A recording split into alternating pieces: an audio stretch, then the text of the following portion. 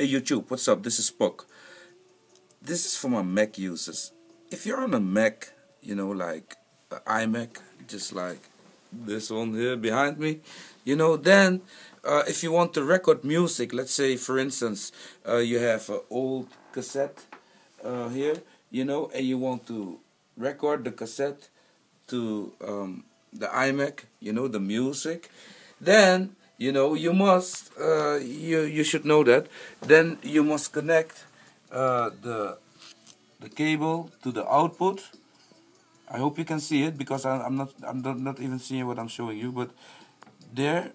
And then you connect it to the second uh, hole in your iMac and then of course you must go to sound settings and then change uh, the microphone built into uh, the line in. And then you know the sound will come in. But then you won't hear anything you know. But with a program called um, how you call it? I'm recording here with a program I forgot what its name oh yeah it's named iScream.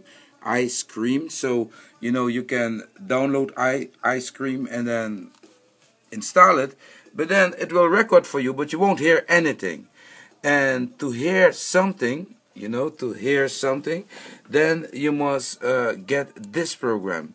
And this program my friend is called line in. It's called line in. I will put the link uh, later on for you guys because uh, I'm recording this with my iPhone but I just thought it was really handy to show you uh, how to hear the sound uh, you're recording uh, on your iMac while recording it eh? because eh? it's yeah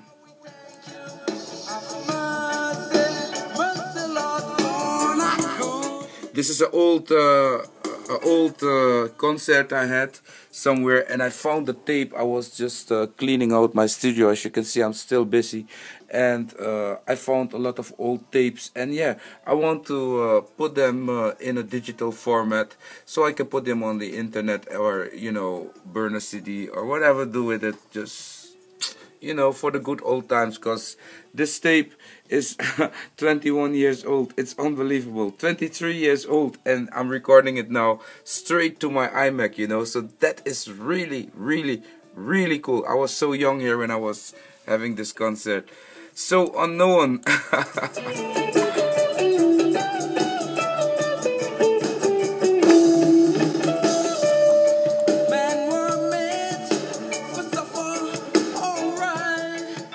anyway um, what i'm doing now i'm just uh, recording uh, audio. And for those that didn't didn't know how to uh, record audio you know audio recording is uh, something that i did uh, when i started out with computers. Because you know i created music and at that time uh, it was really expensive to burn a CD. You know, if you wanted to burn a CD, it costed like 200 guilders. Some guy was doing it, you know. So we needed a computer with a good sound card, you know. And I remember way back in '96, I had a Pentium 1 with 120 megahertz, you know, and the thing was, uh, how you call it, recording music for me. And then I'm gonna show you. I'm I'm I'm busy here in the studio, and then Oops, if I can show it to you. Oh, and then I would like the music I recorded would then uh, be uh, burnt with this beautiful SCSI SCSI burner from uh, from HP. It was the HP Shure Store 6020. Look at that, man. This thing is vintage. This this thing is so old. It's it's it's it's unbelievable. I still have it. I paid like almost 1200 guilders for this thing. So I'm like, I don't want to throw it away, you know, because it's still nice. So that's what that's how I started out and you know recording music to your Windows machine is much easier because you can just select the line in and everything that you connect to the line in will start playing over your speakers.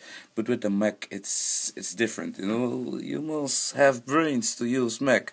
So that's why we uh, advise you I advise you to use the program called line in and that will let you hear if you hit pass through it will pass through the sound so you will have uh, yeah